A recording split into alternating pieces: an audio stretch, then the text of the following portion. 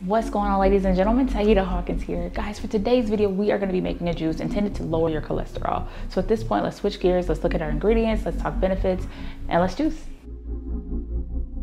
Carrots contain soluble fiber, which limits the absorption of cholesterol within the body. Grapes actually have phytonutrients, which lowers your bad LDL cholesterol levels. Kale's got high levels of lutein, which contains xanthophyll, which also is known to lower cholesterol naturally.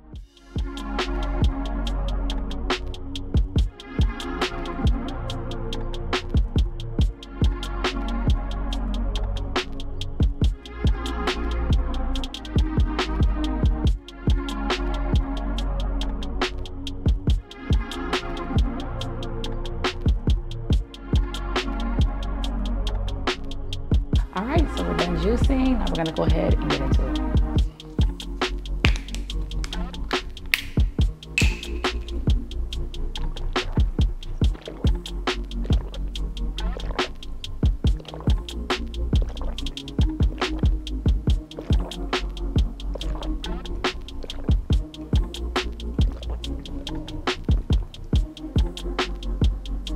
Mm.